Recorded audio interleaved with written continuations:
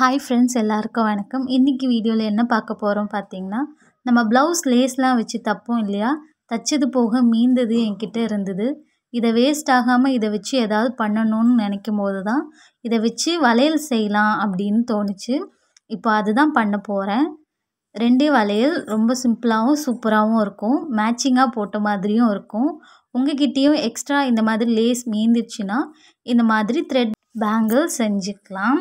ரொம்ப சிம்பிளாகவும் ஈஸியாக முடிஞ்சிடும் ஸோ இந்த வீடியோ தான் பார்க்க போகிறீங்க வாங்க வீடியோக்குள்ளே போகலாம்